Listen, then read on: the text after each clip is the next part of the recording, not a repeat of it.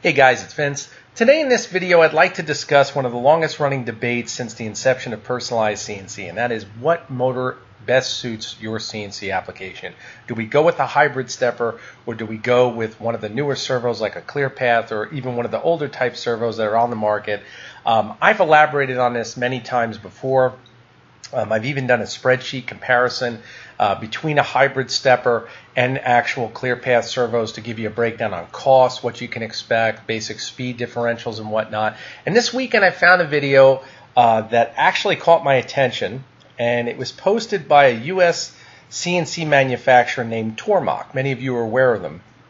Um, the name of the video is Is it a good idea to upgrade to servos? So, of course, it caught my interest. I said, I want to watch the video. I watched it. And I noticed in the beginning part of the video, this segment right here, there's some missing information. And what's really interesting is on the back end of the video, there is probably the biggest answer that I've discussed at least a million times since I've gotten involved in the industry um, to potential clients, past clients, and that is, is a stepper-based system as accurate as a servo-based system? We'll cover that. What I want to do is just give you a brief introduction of what you're going to see right here. On side A, you've got 110 inch per minute uh, actual uh, feed rate being run on one of their stepper-based systems. And now they've just come out with ClearPath servos as an option to retrofit one of their stepper-based systems, and it's running on side B. And of course, they're running it at 300 inches a minute. So I'm going to just play this. It's pretty much self-explanatory, and we'll discuss it, what's actually missing in this segment of the video rectangular pocket geometry that we need to machine. This kind of geometry is going to produce a lot of rapid motions. This is where you're really going to see the benefit from the higher axis speeds. As you can see in this cutting footage, we saved 22% cycle time by just changing the rapid speeds on this part. That's a substantial improvement that's really going to save you some time and some money on every job that you process. Okay, so we've seen a 22% cycle time um, decrease just by going from the ClearPath from the actual stepper. Um, again, this is not 100% accurate in the sense that a servo is only faster than a stepper if the engineering hasn't changed on the machine or the type of motor being used. Let me explain. Steppers can actually be run at a higher torque. And when they're run at a higher torque, steppers, as we all know, and I've disclosed this many times, is that steppers, as they run faster, they deplete the amount of torque that they produce. Now, knowing that they deplete the amount of torque that they produce, in order to increase the speed that we want our machines to perform at, all we have to do is build a buffer inside of that torque. So if we take, let's say if their motors, and I did some uh, research to see exactly what's the size of their motors, and it's interesting because their steppers are typically, and this is interesting too, you can see here part number 30199 is 640 ounce inches. Um, and this is a NEMA 34, and they want $313 for it. Now, guys, we all know their pricing is absolutely ridiculous. You can see their website right here. Um, I, just to give you an idea of how ridiculous it is, I offer a 600 ounce NEMA 24, which is in the same exact mounting chassis platform as a 23, except the chassis is slightly longer, and it's $62. Okay, what are you paying for? We're paying for this. Okay, but overall, if we went from, let's say, now again, I don't know the exact torque that that stepper is. They never disclose what they're using, and that's why I said there's missing information here. If you take and double the torque of this motor, and let's say we go to the 1200 ounce inch rating, we have such an abundance of torque available that even if we bleed that torque down by accelerating the motor, as long as it's matched with the proper power supply, you will get that system to run faster. That's the key to running a stepper-based system faster. But now that we've solved that problem, or I've given you the option to solve that problem. What else can you do? I mean, that's as far as just the motor aspect. But if we want speed, we can get speed in another way as well. We could change our transmission. Okay? Their machines run on ball screws. I recommend all you guys that if you can afford it, the ball screw transmission is the most accurate and again, uh, going to require the least amount of maintenance. Ball screws you can actually select the um, the lead pitch, which is just the spacing between the threads. If you go from a five millimeter pitch to a 10 millimeter pitch, you're going to have a faster machine. Why is that? Because then the spacing between the threads is greater. So every rotation increases the length faster of that ball nut. So keep that in mind. It's a combination of parts is what I'm trying to say. There's variables. We'll cover that again. You're going to hear it out of their own mouth on the sep- second half of this when they discuss um, something I've been saying and giving you the answer to that age-old question, which again seems to be the uh, consensus online to all these gurus on these CNC forums, and that is that a servo is so superior to a stepper, which just isn't the case. So let's come over to the second half. This is interesting, so please listen closely, guys. One common misconception of servos is that they're going to improve the accuracy of the machine. This is unfortunately not an accurate statement. Overall machine accuracy encompasses the entire machine and how it was installed, not just the axis motors. It is a stack of tolerances from the base casting all the way to the part in your vise.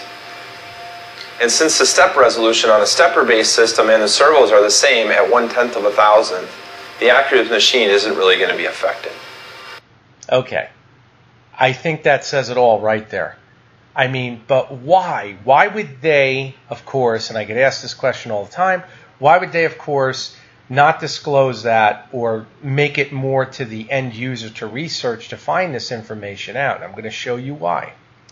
Here is the cost of their ClearPath servo upgrade. Now, of course, they're calling it their own motors, I've discussed how the proprietary division when it comes to manufacturing works, and you can see here, I don't know what this piece of tape is, but if you guys do a Google search on ClearPath, you're going to see that this image is exactly the same.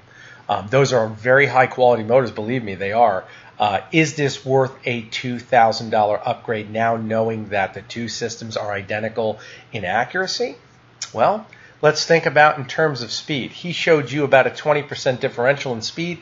Is that three minute differential worth the $2,000? Well, it is if you look exponentially over duration, but when you think in terms of actually being able to change out just the stepper motors on the two axis and just going with a higher torque stepper to increase the speed of the machine or you changing even the transmission to do it and use the stock motors, usually you're going to be under this cost, which I think is ridiculous. And when you factor this cost in with over here the ECM update that they're asking you uh, basically to add 625 and they'll include a 425 refundable deposit unless you have it already.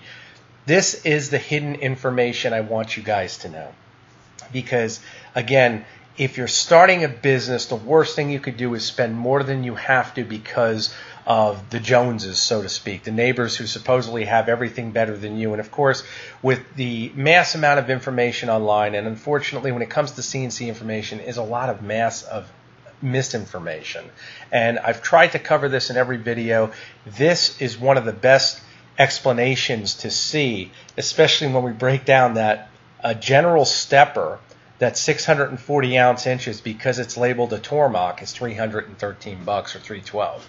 I mean, when you factor that in and you can buy it from me for $62, I get asked all the time, is it different? Does it rotate? It's the same motor, guys.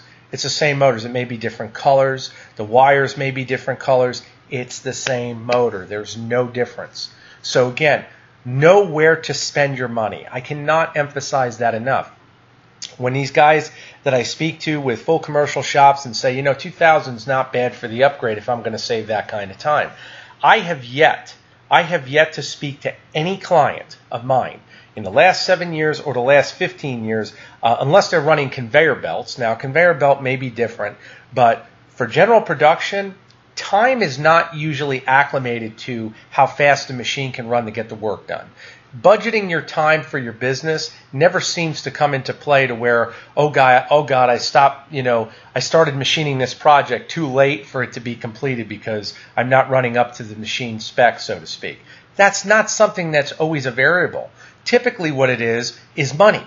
How much do you want to spend to get the job done? And I've said this in numerous videos and the first thing I always tell you get a guy get a go to a machine shop have him cut a part you cut the same part. If the tolerance is the same, I don't care what you're running. If the tolerance is the same and you did it for less than him, you just beat his ass. It's that simple. It's that simple. There is no such thing as a thousandth or two thousandths, whatever the tolerance may be. If the it, whatever that measurement is, it's the same. There's nothing different. Don't pay more than you have to. educate yourselves, do your due diligence. And again, I hope that this video has helped many of you because again, I know many guys are out there going back and forth and I mean, they stay up at night. I feel like you guys stay up at night, some of you going back and forth. Should I do this? Should I do that? And like I said, for the guys that are starting a business, every dollar counts. Start with the basics, worry about your transmission, worry about the accuracy, the build and mechanics, and then diversify by figuring out the controller, what we're going to do with that, and then we go from there and put the whole unit together. And when we build the robot, it's the it's the symmetry of everything. Okay, if you don't have that that every complete component and variable has been covered, you're going to find that it's always the weakest link to get you. You know, I've seen guys go through, you know, uh, meticulously going through the entire chassis and then use plastic motor couplers or go through the entire chassis and, you know, I'm going to use belt drive on my Z axis. Don't shoot yourself in the foot. Details count. Okay, I don't care if you have a question, that's what you ask a question about. That's where you spend your money is where the where you're going to get the biggest bang for your buck. The, a motor is not going to do it, guys.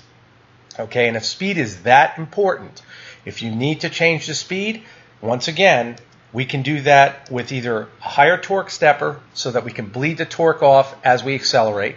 We can also increase voltage going to the stepper, meaning increase the amount of voltage from the power supply going into it, once again, using overdrive ratio. You guys can check out overdrive ratio on Gecko's site.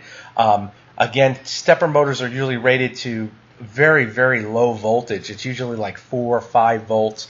We never run steppers at that. We run them in an overdrive ratio, which simply means we're using a higher amount of voltage than they're rated to.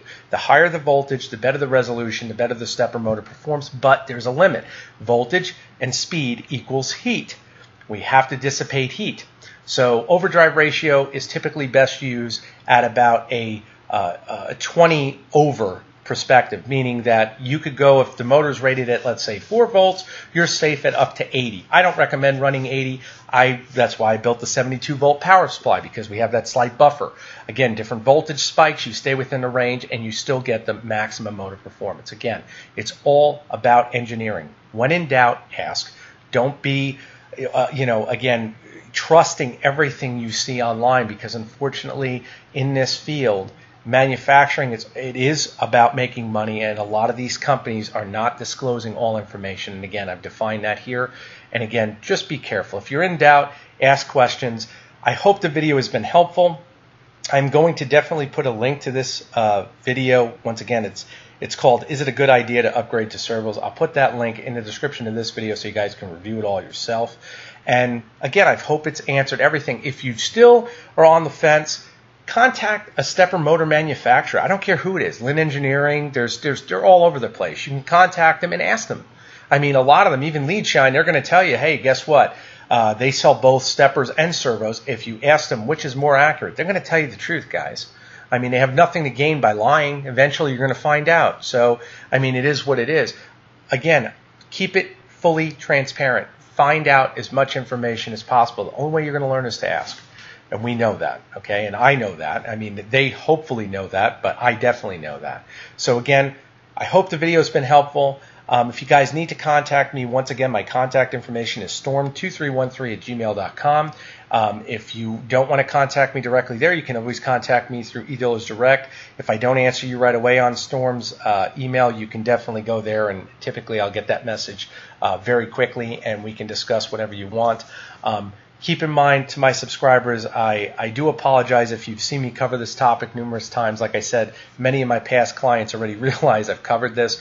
Um, but again, I've, for the masses out there that are just getting involved with CNC, excuse me, this is imperative to know because I know how much money uh, you'll end up saving. I mean, I can't emphasize that enough.